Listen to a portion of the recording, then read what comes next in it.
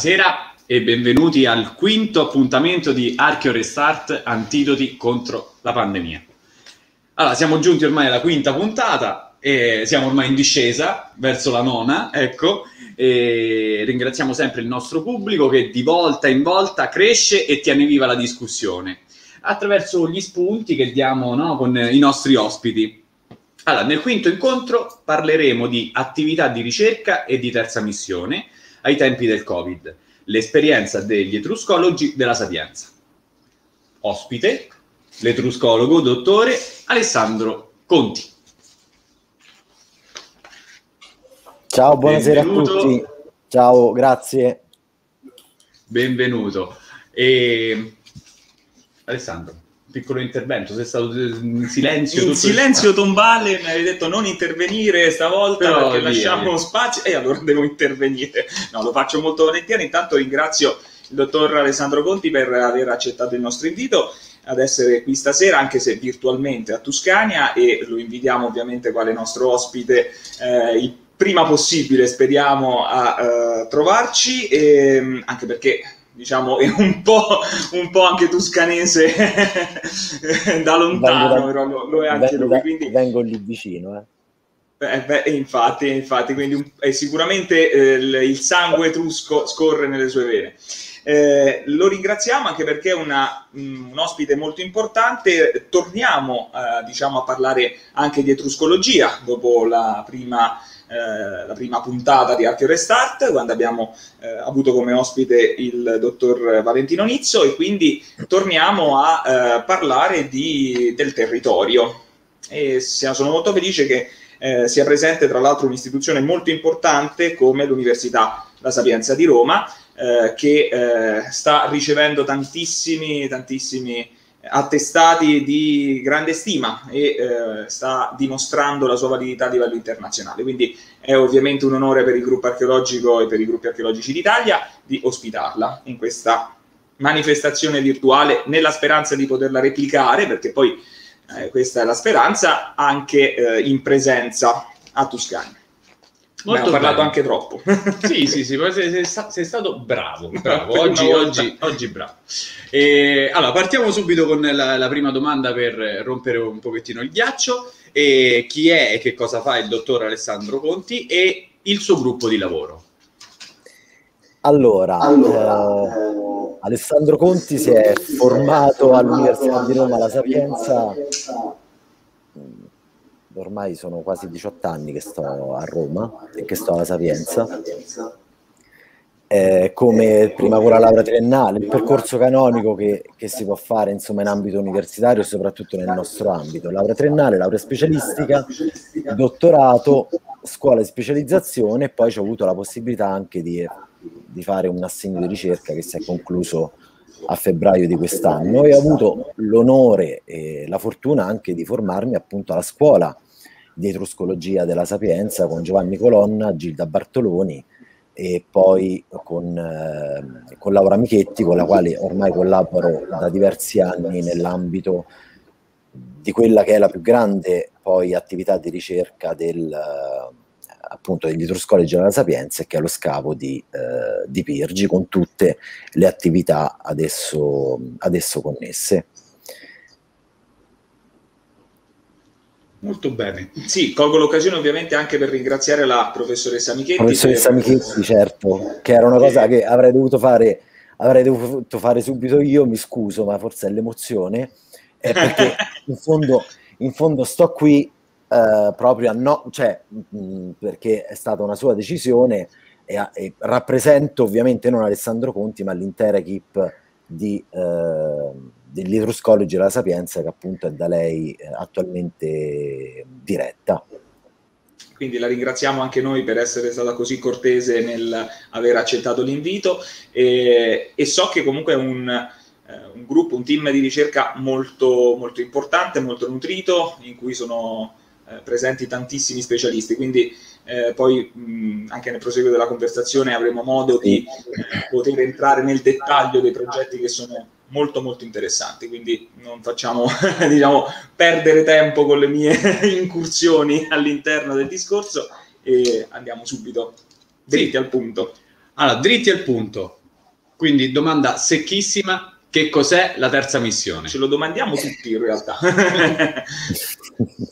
allora, ter- è molto semplice in realtà. La terza missione è, si unisce ovviamente alle prime due, alle più importanti, che sono la didattica e la ricerca, e detto in termini molto semplici, la terza missione è tutta quella serie di attività che riguarda proprio il trasferimento delle conoscenze al grande, chiamiamola al grande pubblico, alle persone, a, alla società civile, eh, che può essere il mondo del, dell'imprenditoria, il mondo del lavoro, ma anche tutte le persone comuni, cioè il modo di comunicare la ricerca, quindi quella che poi è una delle missioni della Sapienza, de, dell'università in generale, al, al mondo della società, della, socie, della società civile. E quello che in fondo stiamo facendo anche oggi con questa diretta è un esempio di attività di terza, di terza missione, perché noi parleremo delle nostre delle ricerche degli Etruscologi dell'Università di Roma, appunto utilizzando tra l'altro una piattaforma come, eh, come Facebook per arrivare al maggior numero di persone eh, possibile.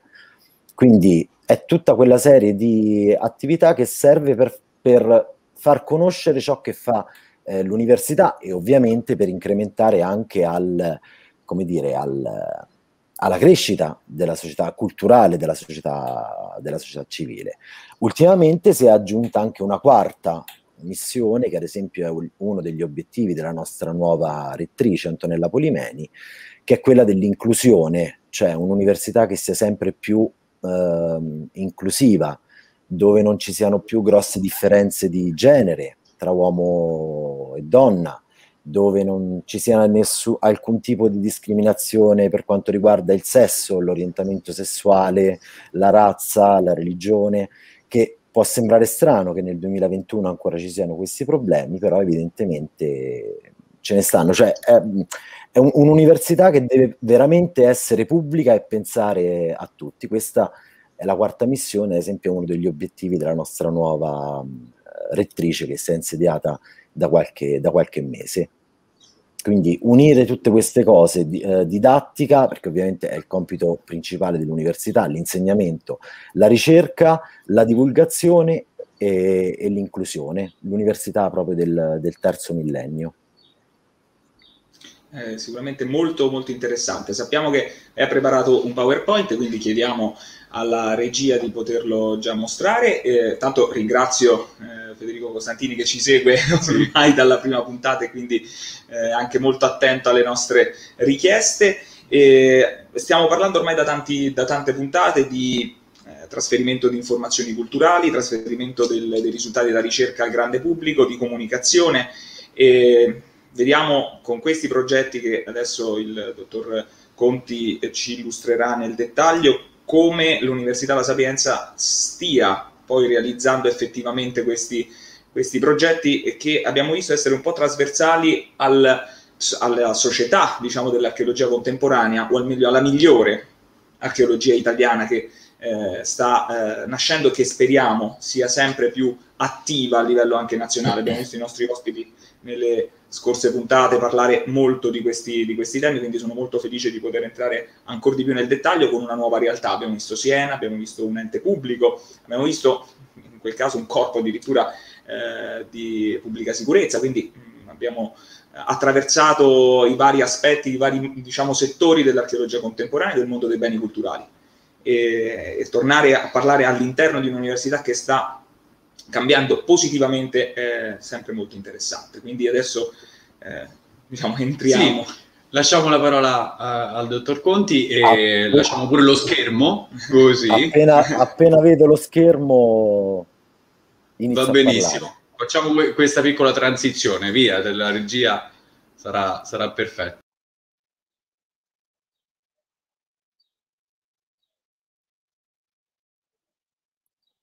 Allora, sì, ci siamo. Eh, appunto, ovviamente sarà una breve carrellata di tutte quelle che sono le principali, tra l'altro, attività di eh, ricerca e di terza missione che mh, pone in essere l'insegnamento di etruscologia e archeologia italica della, della Sapienza soprattutto negli ultimi, negli ultimi anni. Avanti.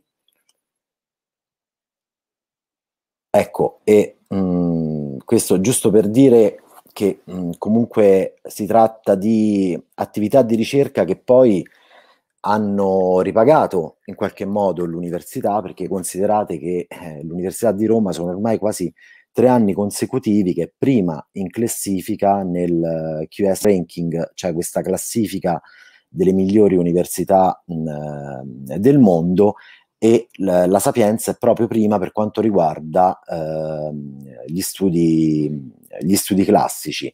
È ovviamente un risultato che ci ha reso oh, sempre felici e che speriamo insomma di poter continuare su questa, su questa strada. È un riconoscimento eh, molto prestigioso per le, per le università, questo qua. Avanti.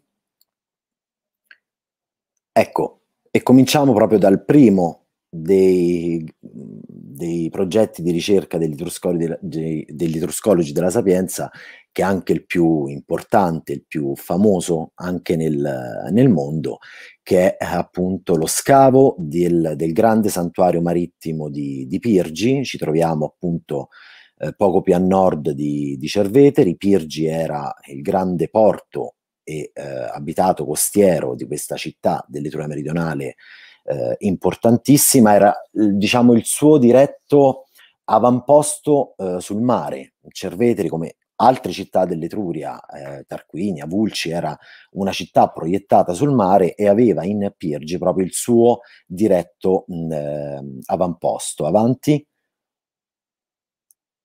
Ecco, la, la Sapienza, Pirgi si trova, ci troviamo nei pressi dell'attuale eh, Santa Severa, noi scaviamo poco più a sud del, del castello, lì dove leggete la scritta quartiere pubblico cerimoniale e comprensorio santuariale, una fotografia aerea appunto dei nostri, dei nostri scavi, avanti,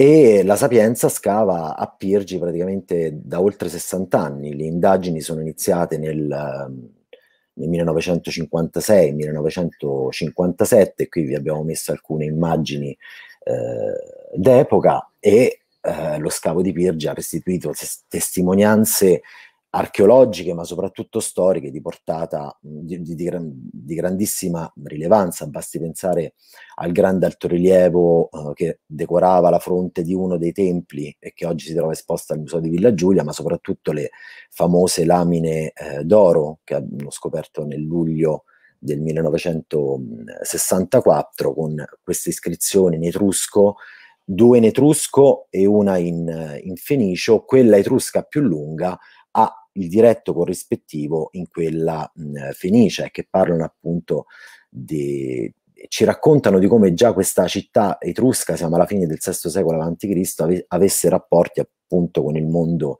fenicio e quello punico. Pirgi era in quanto era veramente un, era un porto, quindi era frequentato da tantissime persone, ma era soprattutto un luogo, il luogo dell'accoglienza, dove nessuno in nessun modo si sentiva, eh, si sentiva straniero e forse proprio per questo motivo chi eh, edificò uno dei templi del, dell'area sacra, il Tempio B, e fece affiggere le lamine, che poi era il tiranno di Cerveteri, Tefare Velianas, come ci indicano proprio le iscrizioni presenti su questi testi, voleva far vedere che Pirgi era appunto un, po' un, un luogo sacro aperto però a diverse mh, componenti. Avanti.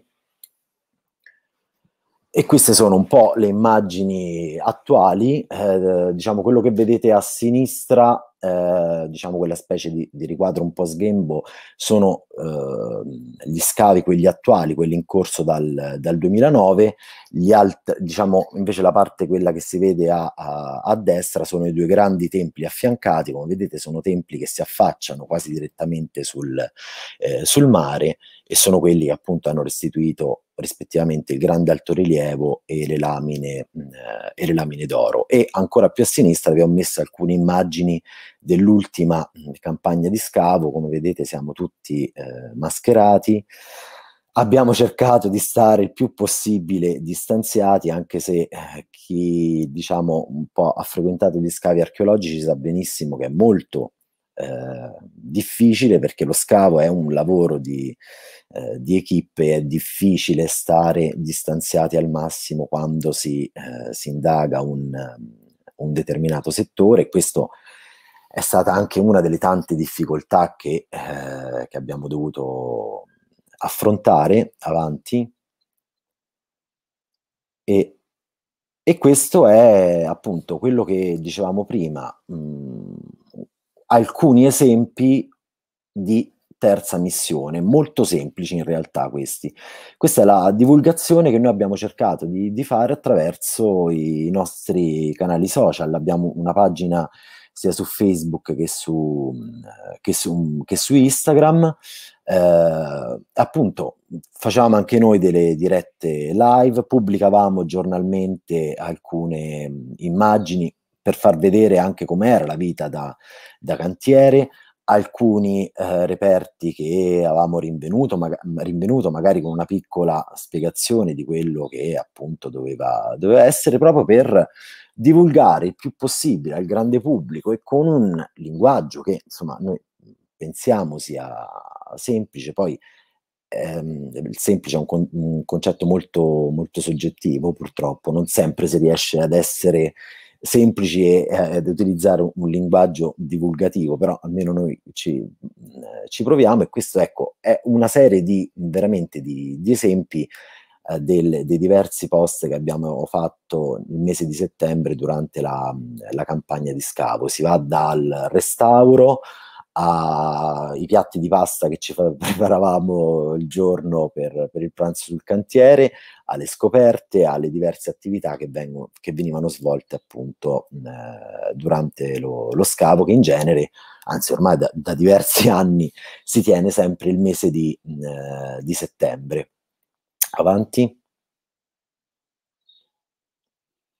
E qui ecco anche tutte le collaborazioni che abbiamo effettuato durante appunto il, il periodo di, di, scavo, sia con la Regione Lazio, in particolare con la riserva mh, regionale di Macchiatonda, mh, che è appunto questo parco meraviglioso che comprende anche, anche Pirgi. Pirgi da due anni eh, è diventato monumento naturale della regione Lazio, quindi è un'area tutelata sia dal punto di vista paesaggistico sia dal punto di vista archeologico e quest'anno, mh, la seconda metà di settembre, abbiamo organizzato con i guardiaparco appunto della riserva naturale di Macchiatonda una serie di visite guidate eh, che coniugavano sia l'aspetto archeologico che quello eh, naturalistico, ci sono state tantissime persone ed è stato per noi un modo anche ecco, per per raccontare non solo quello che eh, scaviamo, ma anche per raccontarci, per raccontare la nostra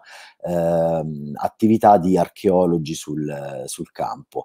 E un appuntamento ormai per noi fisso da diversi anni, sono in collaborazione con la eh, sovrintendenza e con l'antiquarium di, di Pirgi, sono le giornate europee del, del patrimonio. Ormai credo che siamo arrivati con quella di quest'anno alla sesta o alla settima edizione. Anche qui organizziamo appunto d'accordo con la dire- in collaborazione con la direzione dell'antiquarium di Pieggi, con la dottoressa Rossella Zaccagnini, una serie di incontri di, eh, e di visite guidate in cui apriamo il, um, il cantiere lo faccia- e, facciamo, e lo facciamo non solo l'area archeologica, quindi quella ormai storica e eh, come dire già visitabile da diverso tempo, quella del, del santuario, ma apriamo proprio il nostro cantiere eh, di, schia- di, scavo e permettiamo alle persone appunto di, di venirci a, a, trovare. Avanti. E ecco, eh, ovviamente Pirgi, lo, scavo poi si porta dietro tutta una serie di eh, attività che riguardano invece poi propriamente la, la, didattica. Pirgi innanzitutto è uno scavo didattico, uno scavo al quale partecipano gli, gli studenti dei, dei, diversi corsi di laurea, triennale, magistrale, scuola di dottorato e specializzazione. È uno scavo quindi che eh, serve soprattutto qui, ai, agli studenti più piccoli per apprendere quelle che sono le, eh, proprio le, la, la, quella che è la metodologia de, dello scavo archeologico e poi intorno c'è tutto un, alt- un corollario di, eh, di attività, come ad esempio le, le, attività che vengono svolte di, di, laboratorio direttamente sui materiali che vengono eh, scavati mh, nella campagna, appunto, nella campagna di scavo. Noi in genere scavamo a settembre, il laboratorio sui materiali per gli studenti viene fatto in, in inverno, inizi primavera e ovviamente con il Covid potete immaginare che tutta questa serie di attività che vengono svolte in genere in presenza, perché lo studente oltre ad apprendere il, il, il metodo di scavo ha anche bisogno di, eh, poi di, di conoscere il, i materiali che, che trova anche per, per il suo lavoro futuro. Ecco, tutta questa serie di attività in presenza l'abbiamo dovute eh, bloccare, ancora purtroppo non siamo riusciti a farle ripartire e ci siamo dovuti reinventare dei laboratori e dei tir- di tirocini fatti a, a distanza.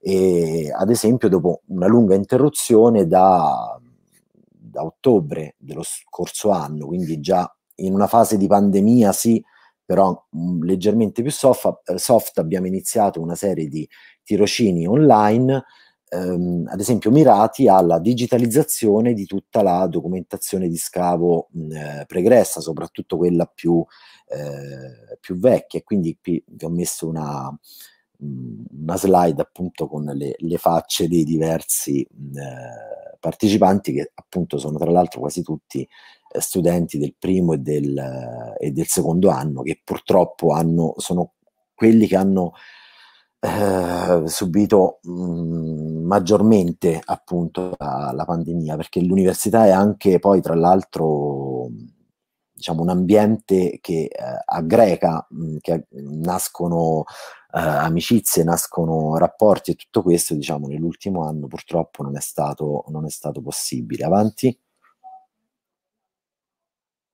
Ecco, qui un altro esempio di, eh, di, terz- di, di, didattica, di ricerca e di terza missione al tempo stesso. Pirgi è uno dei pochi scavi che può vantare di avere un, uh, un museo direttamente collegato all'area archeologica, il piccolo antiquarium di, di, Pirgi che si trova sulla via che conduce proprio al castello di, di Santa Severa e che ora è, è chiuso perché mh, a breve inizierà il, lo smantellamento e il riallestimento in una sede più idonea. L'antiquarium verrà ospitato all'interno dei locali proprio del castello di, eh, di Santa Severa e appunto è un, un, piccolo museo dove non solo no, l'Università di Roma ha i suoi eh, depositi, ma dove l'università può anche esporre i risultati delle proprie ricerche quasi a tempo tem- tempo record proprio. E non solo, l'università ha anche un altro eh, museo all'interno invece questo della città universitaria, che è il Museo delle Antichità Etrusche Italiche, eh, dove appunto molto spesso eh, organizziamo delle mostre proprio per eh, esporre e raccontare quelli che sono i risultati delle ultime campagne di, eh, di scavo. Avanti.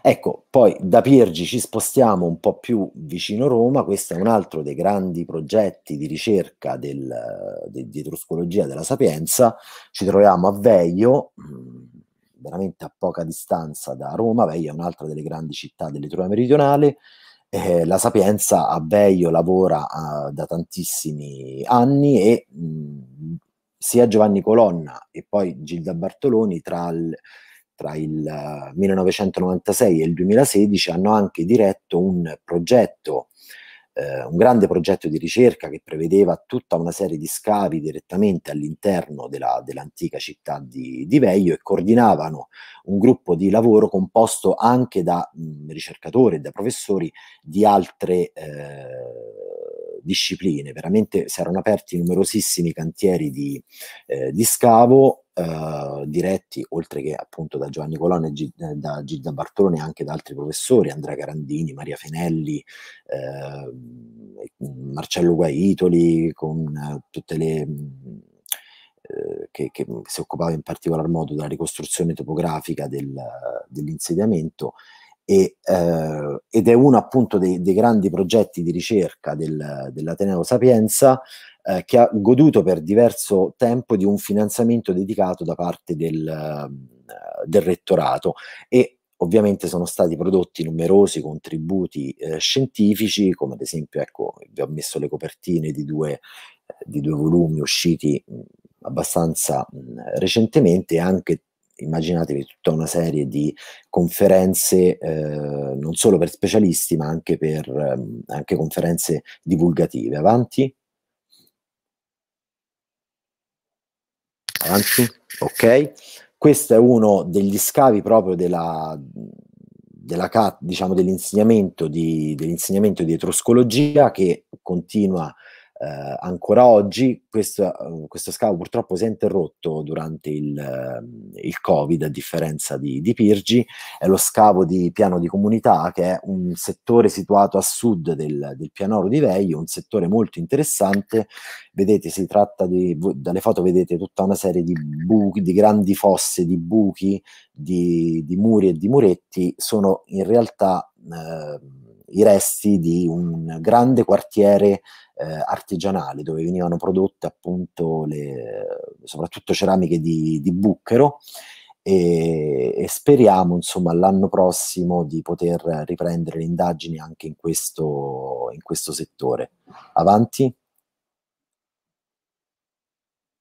Ecco, poi anche ovviamente Veio mh, non è solo scavi, ma è anche la, la, Sapienza si occupa del, dell'edizione eh, scientifica e moderna anche dei vecchi scavi realizzati a, a Veio nel corso del Novecento, uno dei, eh, de, de, degli impegni più onerosi proprio della, dell'insegnamento di etruscologia è l'edizione del, del grande del, degli scavi realizzati nella prima metà del Novecento nel santuario di, di Portonaccio, il grande santuario situato poco fuori dalla città, famosissimo perché ha restituito le statue no, di Apollo e di Ercole che si trovano a, oggi al, al, Museo di Villa Giulia.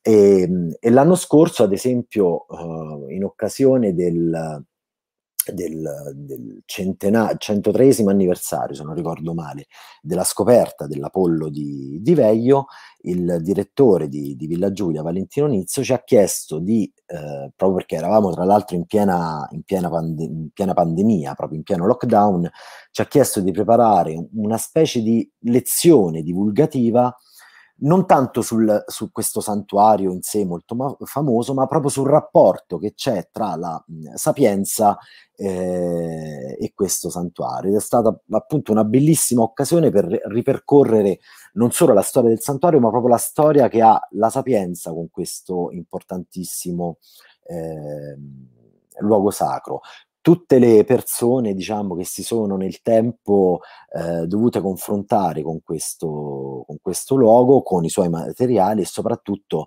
l'impegno che sta portando avanti la, la, Sapienza per l'edizione scientifica di tutti gli interessanti eh, rinvenimenti. Avanti. Ecco, poi questa è proprio storia dei giorni nostri, è stato siglato mh, po' di tempo fa un, un accordo tra il Ministero eh, e i suoi organi periferici, in particolar modo la soprintendenza, il Museo di Villa Giulia e la direzione dei musei statali del Comune di Roma, da cui dipende l'area archeologica di, eh, di Portonaccio, un, è stato siglato un accordo per avviare un grande progetto di eh, studio e soprattutto di valorizzazione mh, delle testimonianze archeologiche eh, presenti sul, sul pianoro di Veio. Veio è attualmente un parco archeologico naturalistico eh, che mh, eh, dipende dalla, dalla regione Lazio, però ecco con questo progetto si vuole accrescere appunto tutto la, la, la, diciamo il piano di eh, valorizzazione e soprattutto avviare tutta un'altra serie di interventi volti alla tutela e alla, alla conoscenza di, di, Veio. È un progetto che ha un nome anche molto significativo, Veio The Lost City, cioè la città eh, perduta, proprio perché è una città importantissima ma che potrebbe sembrare in qualche modo eh, dimenticata, ma in realtà dimenticata non lo è, ha solo bisogno di nuove risorse e di nuove energie che grazie a questo progetto non tarderanno ad arrivare. Avanti. E poi ecco, questa è proprio, credo, la penultima slide, se non ricordo male, un altro dei progetti di ricerca, sempre del, dell'insegnamento di etruscologia della Sapienza, eh, nato proprio durante il, il Covid-19, è un grande progetto che, mh, eh, relativo al, alla lettura dello sviluppo urbano di Faleri Veteres, ovvero dell'attuale Civita Castellana, eh, in antico si chiamava Faleri ed era, ed era la capitale dei, di questa regione, dell'Agrofalisco, che era una, la, la, regione che si stendeva da, praticamente tra il Tevere e eh, i Monti Cimini, una regione abitata da questo popolo molto simile agli Etruschi, ma che non erano Etruschi perché parlavano anche un'altra lingua, parlavano appunto il Falisco che era più simile al, al latino. La Sapienza da diversi decenni ormai si occupa di, di agrofalisco, soprattutto ehm, si occupa dell'edizione delle importanti campagne di scavo che ci sono state sin dalla fine dell'Ottocento in questa, in questa regione.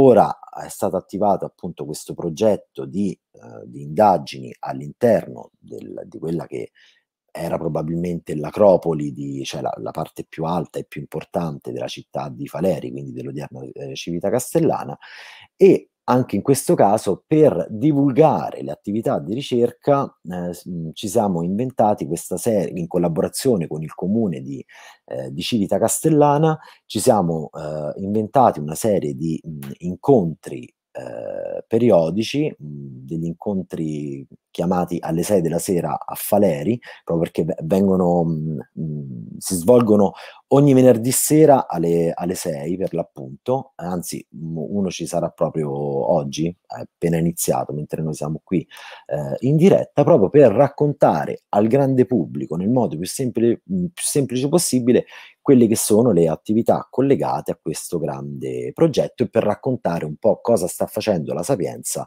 appunto nell'agrofalisco, cioè nella regione dell'attuale Civita eh, Castellana. E io penso che con questa slide eh, credo di aver chiuso, forse ce n'è un'altra, ma semplicemente di, di saluti, sì, eh, una slide di saluti in cui appunto vi ho messo un po' di foto così di, di repertorio e dove diciamo ci sono in alcuni punti eh, quelli che, quello che sono bene o male le nostre eh, finalità, le finalità della nostra terza missione, creare connessioni, includere, raccontare, cercare di, di divertire e soprattutto essere anche all'altezza di quello che abbiamo ereditato. Noi etruscologi della Sapienza siamo proprio gli eredi di Massimo Pallottino, che è il fondatore del, della moderna etruscologia, e questa è un'eredità che insomma portiamo con gioia, ma ecco, ci mette anche un po' di, di timore perché comunque sia è sempre è stato uno dei, dei maggiori esponenti dell'archeologia del Novecento, quindi è anche un po' per noi un, un peso che portiamo con gioia e che cerchiamo comunque sempre di onorare in qualche modo.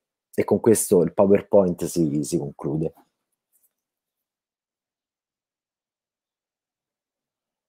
Cerchiamo per più che altro di onorarlo nel miglior modo possibile, ecco. siamo ritornati. Allora, sì, il, beh, il peso dato dalla, dall'eredità appunto eh, di, di, Massimo Pallottino è un peso importante. Mm, diciamo, eh, dovete, avete un'eredità da portare avanti che sicuramente peserà sulle vostre spalle, però eh, questi progetti, il progetto di Virgi, il progetto di Veglio, il progetto di Faleri Veteres, eh, sono progetti estremamente interessanti. Parliamo appunto dei siti eh, del tra i più importanti del, dell'intero mondo etrusco meridionale, quindi eh, chi meglio di questo, di questo, team che sta facendo appunto della, della, ricerca ma anche della comunicazione fuori da quello che è il mondo degli addetti ai lavori, eh, che spesso rimane appunto un mondo, un mondo chiuso eh, e invece eh, riuscire a eh, portare avanti, a sviluppare progetti che stimolino anche lo sviluppo territoriale è estremamente importante. Eh, il rapporto, l'abbiamo abbiamo parlato molto anche la scorsa settimana, il rapporto eh, con le comunità eh, con le altri, gli altri enti, le altre istituzioni è estremamente importante e ehm, sicuramente ri- ricominciare, riprendere anche le indagini eh, a, eh, a Veio, a piano di comunità, è estremamente interessante, no? anche dal punto di vista ovviamente della ricerca, ma nell'ottica di un progetto più vasto di valorizzazione abbiamo eh, seguito anche un po' quella eh, gaff realizzata eh, da, da, un noto, da una nota emittente televisiva italiana. Può, lo possiamo dire, sì, diciamo, certo. Lo possiamo dire, diciamo, realizzata da, da Striscia la Notizia, anche perché poi ribattuta eh, immediatamente dal, eh, dal, da Valentino Nizzo che l'ha immediatamente eh, ricaricata su tutti i media nazionali eh, e su ovviamente sui canali social. Questo la dice lunga, spesso eh, della, eh, anche della capacità de, di, anche dell'opinione pubblica spesso di eh, interpretare quelle che sono le necessità e, eh, della tutela ovviamente, ma anche della valorizzazione. Sì, perché hanno Quindi, fatto vedere appunto, il degrado, in realtà il degrado non c'era, ma era appunto un intervento di, di tutela cioè i mosaici sono coperti proprio per esigenze di tutela e non perché quindi, sono dimenticati. Ecco, eh, quindi sentirlo dalla viva voce di chi ci lavora e comunque chi diciamo, eh, segue quel, quel, progetto è importante perché appunto la dice lunga sulla spesso anche incapacità del, di alcuni media di ecco, cercare la capacità di cercare subito eh, lo scandalo e la notiziona. Mm-hmm eh, però anche eh, questo crea, crea, confusione ovviamente nella, nelle, nell'opinione certo. pubblica, perché crea un'immagine sbagliata di una necessità di tutela eh, che in quel caso eh, non è che vincoli la valorizzazione, anzi eh, serve proprio per valorizzare il sito, tutelarlo al meglio per valorizzarlo. Quindi eh, è estremamente interessante anche seguire questi aspetti. Ci saremmo un po' tutti aspettati che ci fossero anche le scuse. La, no, eh, la rettifica. È stata un po' in sordina, sì. È passata in sordina, ecco, e noi invece nelle nostre ovviamente capacità che abbiamo di raggiungere il nostro pubblico, comunque eh, ripetiamolo perché fa sempre, eh, fa, è sempre comodo è giusto e utile eh, sottolineare queste storture del sistema che spesso passano appunto sotto traccia. Eh, anche appunto in questo caso passano sotto traccia proprio per la presenza di un fastidioso, di un fastidioso eh, virus che ci ha colpito nell'ultimo anno. Sì, infatti la, mi ha lasciato proprio l'imbocco per la, la, la prossima domanda. Allora, visto l'anno passato, ormai un po' di più di un anno eh, di, di, pandemia, quali sono state le difficoltà che ha incontrato l'università, la Sapienza, eh, nella vita quotidiana, ecco, ne, nelle, nella vita di uno studente, nella vita di un ricercatore, quali sono state e soprattutto quello lì che, su cui ci focalizziamo, quali sono le nuove eh, capacità e le nuove soluzioni eh, che magari possono essere adottate pure in futuro. Beh, immaginate che dal 9 marzo l'università è stata chiusa, come del resto anche le scuole, no? Quindi ogni attività didattica completamente sospesa. Impossibilità di effettuare lezioni, impossibilità di effettuare incontri in, in presenza, e tutto questo ha influito soprattutto sugli, sugli, studenti del primo anno, che comunque erano da pochi mesi, ad esempio, che si erano iscritti. No? Voi immaginatevi poi, la Sapienza è la più grande università del, d'Europa per quanto riguarda il numero di, di, iscritti. Alla Sapienza vengono studenti da, da tutte le parti di, d'Italia. Pensate a quelli che avevano preso casa, che avevano affittato delle stanze e che, insomma, volevano iniziare questo percorso no, dopo il, il, diploma è stata veramente molto, eh, molto dura per, per, loro e anche poi per, per, per i docenti perché han, si è dovuto modificare tutto il mo, mo, modo di fare mh, didattica, didattica, da quella in presenza a quella a distanza, che comunque è tutta un'altra cosa, perché non c'è il rapporto eh, diretto, non si crea un rapporto diretto no? Con, con lo studente, anche per quanto riguarda ad esempio gli, gli, esami. Un conto sono gli esami in presenza che possono mettere sì più o meno soggezione, però una volta che poi uno ha preso ehm, il via, diciamo, e superato lo scoglio dei primi due o tre esami, poi dopo la, la strada è tutta in, in, discesa. Ecco, questo ad esempio è un quello degli esami in presenza è, è qualcosa che gli studenti del primo anno credo che ancora non abbiano mai provato, se non forse negli ultimissimi tempi, da quando ci hanno riaperto adesso qualche, qualche settimana fa. Quindi hanno dovuto affrontare uno step che avrebbero dovuto affrontare, ad esempio, eh, lo scorso anno. E poi anche tutta, tutte quelle attività, appunto, come i laboratori, i tirocini, che devono essere necessariamente svolti in presenza, perché eh, le, le, le, università, le, le, facoltà di archeologia molto spesso vengono paragonate a dei policlinici e ora senza esagerare, però in parte questo eh, è vero perché come il medico tirocinante ha bisogno di stare in corsia per apprendere, anche lo studente di archeologia ha bisogno del contatto, ad esempio, diretto con i materiali, perché deve essere messo in grado di riconoscere un bucchero da una ceramica a vernice nera, una ceramica d'impasto, quello che è. E questa cosa si può fare solo toccando gli, gli, oggetti, gli oggetti, avendo un contatto diretto con eh, il materiale.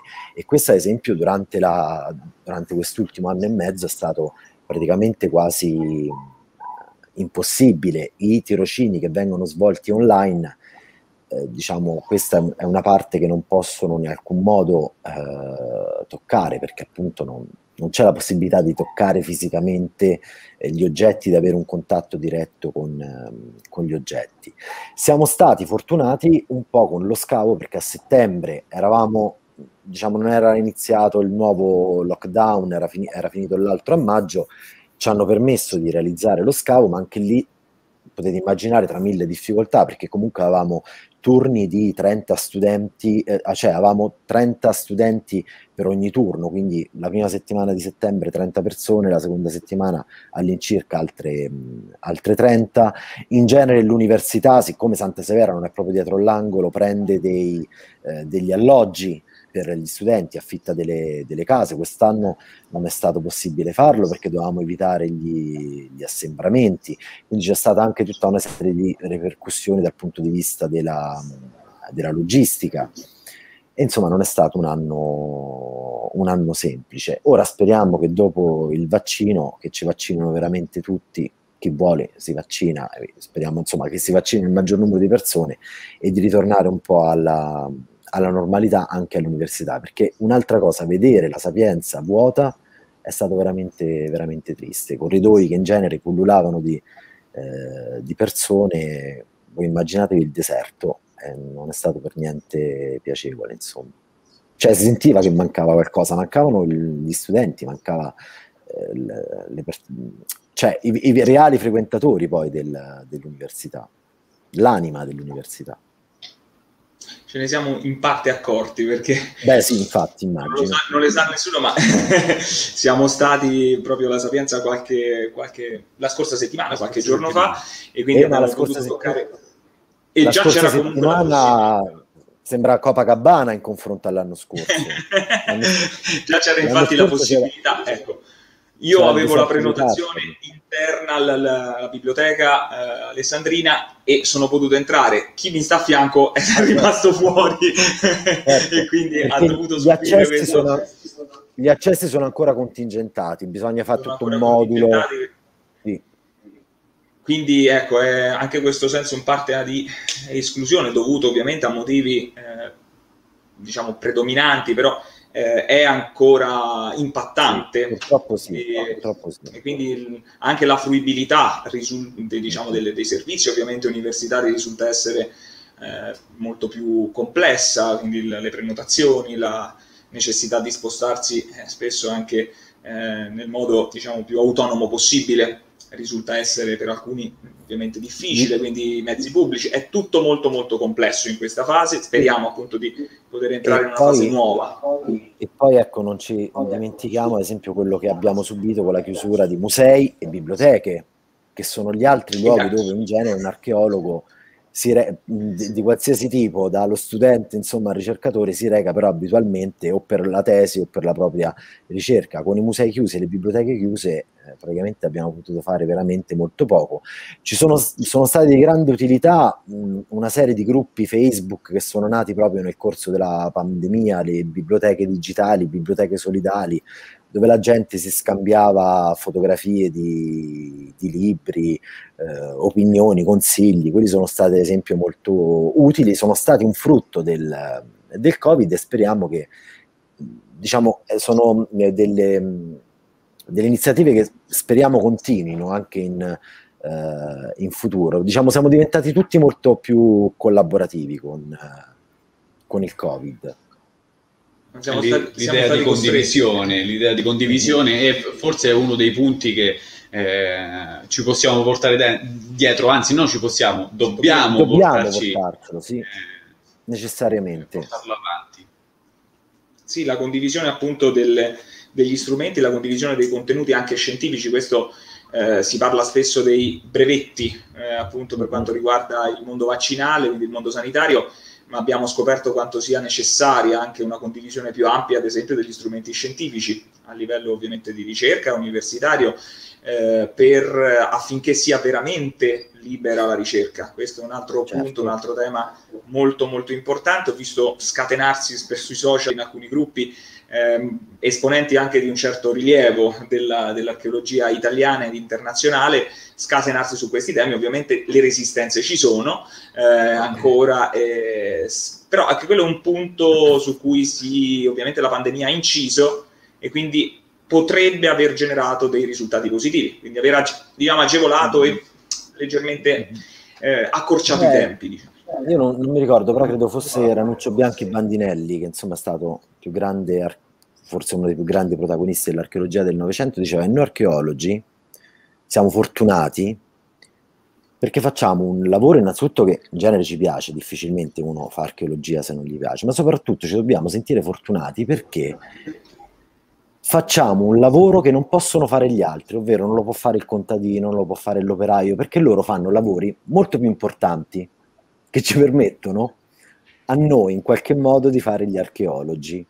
E noi dobbiamo essere, dobbiamo fare gli archeologi anche pensando a quelle, a quelle persone, che se mh, facessimo tutti gli archeologi non ci sarebbe appunto il fornaio o il, eh, o il contadino, noi neanche mangeremmo. E quindi dovremmo essere, sentirci fortunati per quello che facciamo e pensare che il nostro lavoro deve essere fatto soprattutto per quelle persone che ci permettono a noi di fare, di fare il nostro. È molto interessante perché questa è la, eh, ovviamente il, l'aspetto poi anche ideale dell'archeologia, dovremmo riscoprirlo eh sì. spesso. Quindi sì, un po' che... il filone di tutti i nostri incontri arriva, arriva sempre a, a, questo punto, a questo ecco, punto. De, della condivisione e della condivisione non eh, to- de- sulle torri sulle, polvero- su, sulle polverose, polverose. d'avorio. No, eh, ormai, quelle, ormai quelle vanno, cioè non vanno più neanche di moda.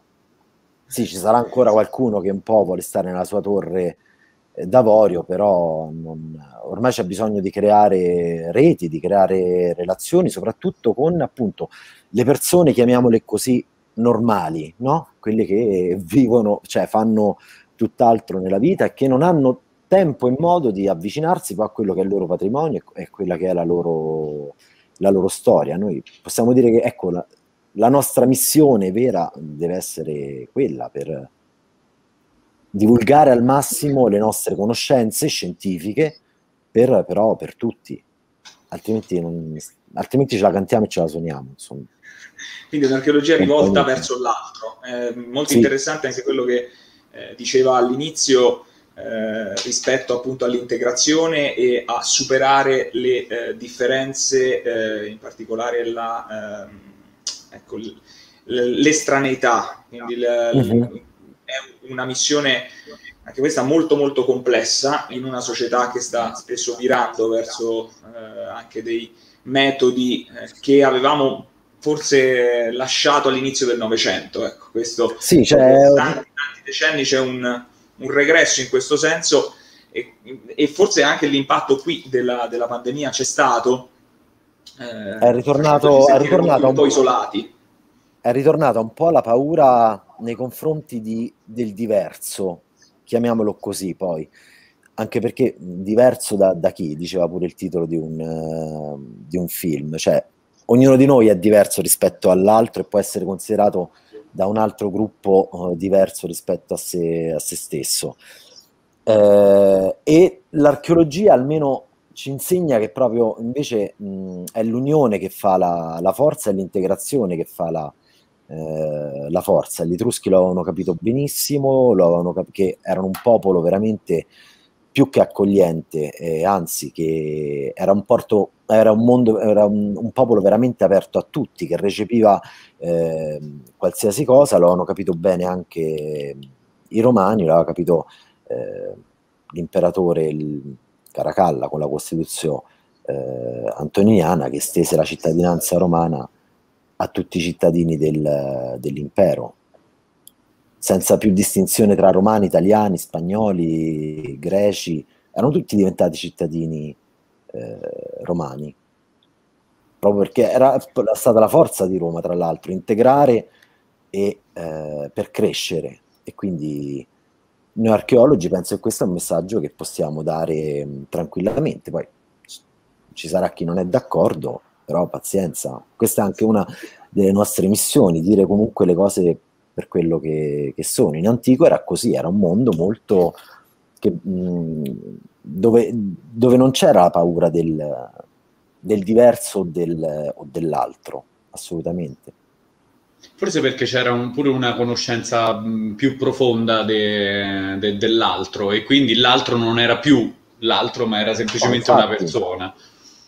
Quindi Infatti. immagino che la, la chiave, e ce lo diceva pure il direttore nazionale dei gruppi archeologici, eh, la chiave è la conoscenza. Conoscere vuol dire abbattere eh, quello che reputiamo differente, ecco, non, eh, perché poi non lo è più.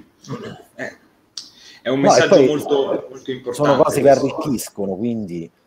Mh, mm, e a Pirgi l'avevano capito benissimo. Pirgi è appunto Tefari Velianas quando ha deciso di costruire il Tempio B eh, ha scritto un testo per celebrare la costruzione del Tempio, l'ha scritto uno in etrusco e uno in fenicio. In un altro santuario che oggi non vi ho fatto vedere, non ve ne ho parlato, situato poco più a sud e che noi chiamiamo il santuario meridionale, eh, era un santuario ad esempio frequentato da, da greci. Anzi, prima di, di entrare a Cerveteri, i greci che sbarcavano a Pirgi passavano dal santuario dell'area sud, facevano i loro doni alle loro divinità, che poi erano molto simili a quelle etrusche, e poi proseguivano in direzione di, eh, di Cerveteri, ma anche Gravisca con ehm, il porto di Tarquinia, c'era un santuario che era fondato e frequentato da, da, greci, frequentato poi da tante altre etnie, insomma non avevano paura del, dell'altro, è un messaggio molto importante e appunto in questo sta la forza anche della ricerca. Proseguire con la ricerca significa anche proseguire nella conoscenza dell'antico che diventi modello per costruire un futuro migliore uh-huh. e mhm. ricostruire un futuro migliore anche in un momento come questo, molto difficile, cui, in cui spesso anche delle certezze, alcuni, alcune nostre certezze sono venute meno e la società che avevamo conosciuto eh, forse diventerà qualcos'altro. È un percorso difficile, le difficoltà e in questo caso anche eh, gli incidenti di percorso potrebbero essere anche molto, molto importanti, molto duri.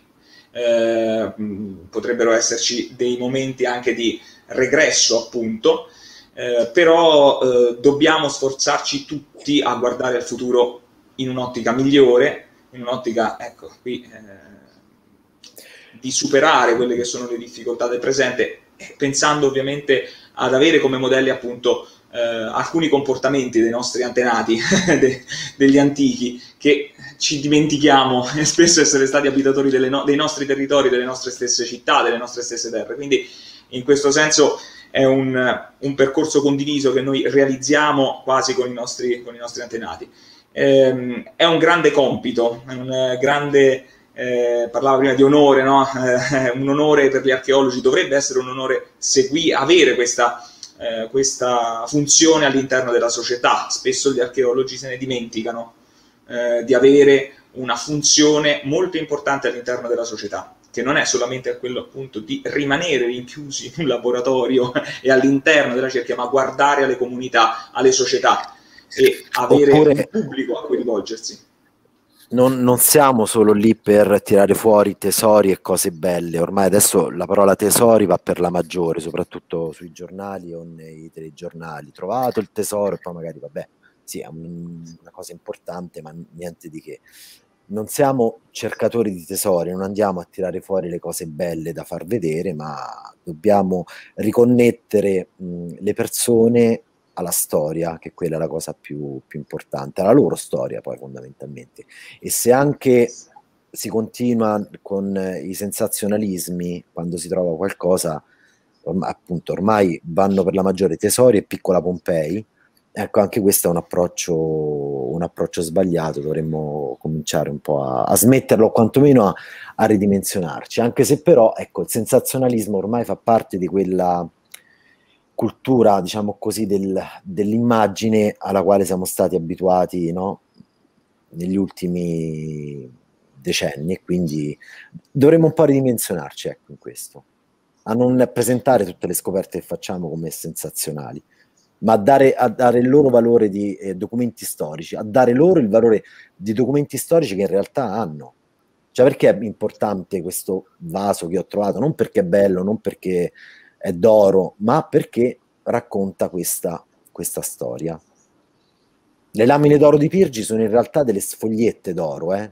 ad esempio, delle cose proprio veramente sottilissime, quindi il loro valore venale, ma forse vale più, non lo so, l'anello di, di mia nonna per quantità d'oro, ma il loro valore è proprio nel fatto che sono scritte e sono scritte alla fine del VI secolo e ci raccontano appunto di questo rapporto che c'era tra Cerveteri e i, e i Fenici già nel VI secolo, alla fine del VI secolo avanti Cristo. Sarebbero a, stati importanti anche se erano eh, scritte su cera, insomma. Era importante ritornare al documento storico, quindi ritornare al dato archeologico e da lì ripartire per eh, per, dare, eh, il, per riflettere su quelle che sono ovviamente le, eh, le, reti, le relazioni anche all'interno ovviamente del contesto archeologico e poi saperlo appunto riflettere alla società, quindi avere la capacità di eh, far comprendere parlare e parlare al pubblico. Ovviamente sì. questo è un percorso complesso, difficile, ma eh, la, i, nuovi, i giovani archeologi sono, sono tanti e sono eh, vedo delle esperienze molto interessanti. Abbiamo, noi le abbiamo un po' raccolte in, questo, in questa nostra manifestazione che eh, ci precluderà il lavoro futuro, abbiamo detto in una precedente, in una precedente conversazione, perché eh, abbiamo offerto forse quanto di meglio, eh, ovviamente nei limiti del possibile. Eh, l'archeologia italiana ci, ci sta offrendo in questo momento, abbiamo scoperto delle esperienze realizzate spesso Con la presenza di giovani ricercatori, di giovani archeologi, giovani archeologhe, eh, esperienze molto interessanti che stanno cambiando radicalmente le comunità in cui ovviamente queste esperienze vivono, nascono, si sviluppano. Bene, siamo arrivati quasi, quasi alla fine. C'è un'ultima, vedo, un'ultima, sì. un'ultima domanda. Un'ultima domanda che è, noi concludiamo sempre i nostri incontri con eh, questa domanda tre proposte pratiche per la ripartenza nel campo della ricerca, in questo caso. Nel campo della ricerca, nel campo della ricerca speriamo, purtroppo di proposte io ne, le posso fare, ma poi c'è sempre diciamo, un fattore X che è collegato. Quindi nel campo della ricerca speriamo di poter veramente al più presto tornare a fare ricerca come la facevamo prima del Covid, quindi eh, una proposta potrebbe essere quella di farci ritornare, non dico tutti in massa, ma quasi in biblioteche e eh, musei, quindi mi appello in questo magari a, mh, ai direttori dei nostri eh, musei, fate in modo di non dimenticarvi che oltre ai normali visitatori che insomma pagano il biglietto e che, che vengono a visitarvi, ci sono anche poi insomma tutti eh, gli altri, ovvero gli archeologi che hanno bisogno di accedere ai depositi o alle sale di, di studio, ma in questo anche, anche, qui le cose si stanno ricominciando a muovere per fortuna. E, e, poi, ecco, noi vorremmo, ad esempio come Sapienza e come scavo di, di Pirgi, vorremmo eh, attivarci sempre di più per connetterci con il territorio e non soltanto con il territorio della provincia di Viterbo e della regione Lazio, no, ma con il territorio proprio di, di Santa Severa. Ci sono persone che abitano a Santa Severa, anche persone insomma, che vivono lì da tantissimo tempo, che non conoscono assolutamente quello che noi stiamo facendo a sud del, del, castello. Quindi cercare di creare reti proprio con le realtà locali più vicine allo, eh, allo scavo e poi continuare sulla strada della divulgazione a, a largo raggio attraverso soprattutto incrementando ad esempio le nostre, le nostre attività sui nostri eh, canali social potrebbe essere un'occasione anche per avvicinare sempre più persone al mondo del, dell'archeologia, al mondo dell'etruscologia. Questo poi sempre in un'ottica che, ma sì, dovremmo ripartire, in teoria stiamo ripartendo, speriamo che questa cosa vada sempre di più a, a buon fine. In caso venga qualche variante, non lo so, dal, dall'Antartide, saremo pronti ad affrontarla in questo, in questo modo. Insomma, se ci dovessero ri, richiudere tutti, ma speriamo di no, sinceramente. No, speriamo di no. Speriamo di no. Faccio un brevissimo commento. Sono tra l'altro tre proposte parte fattibilissime, ma a costo zero, è tipico dei no, giovani archeologi. Senza maggiori oneri per l'amministrazione, come si direbbe in Senza maggiori oneri per le amministrazioni. e quindi, no, vediamo che appunto è il termine che io non uso mai, che è quello di, è, è delle, di resilienza, no? Bisogna, ormai siamo diventati resilienti a tutte le minacce, anche eh, appunto la mancanza dei fondi che ormai è strutturale. e non Bisogna reinventarsi in qualche modo bisogna reinventarci e questo è estremamente interessante e proprio il secondo punto, quello della rete con le realtà locali, è un punto importante, no? perché da lì possono eh, venire delle risorse umane, anche economiche, eh, a livello sia per la ricerca che per lo sviluppo territoriale, no? ne abbiamo parlato anche nelle scorse settimane. Eh, basta veramente basta... poco, eh? Noi ad esempio abbiamo intenzione, l'abbiamo già fatto nel, negli anni passati, però quest'anno vorremmo fare una, due o tre giornate di archeologia pubblica, però dedicate espressamente alle persone che stanno a Santa Severa, che non sono solo i villeggianti, eh, cioè Santa Severa è abitata anche normalmente tutto l'anno, proprio invitarli a, mh, e fargli vedere cosa noi facciamo durante il mese di, eh, di settembre a costo zero perché tanto noi stiamo là, basta aprire i cancelli e la gente entra. Quindi, e quindi speriamo, speriamo che si, possa, si possano realizzare. Sono appunto eh, delle proposte molto semplici ma importanti, focalizzate veramente sugli interessi di quelle che sono le necessità ovviamente del, dell'equipe di ricerca. E ovviamente noi nel nostro piccolo saremo presenti perché abbiamo, la, la, nostra associazione ha già realizzato un, uh, un piccolo, una piccola escursione un po' di tempo fa, ormai prima del, del Covid, proprio. Uh, Quando volete siete benvenuti, ovviamente. Eh? Quindi accettiamo ovviamente l'invito.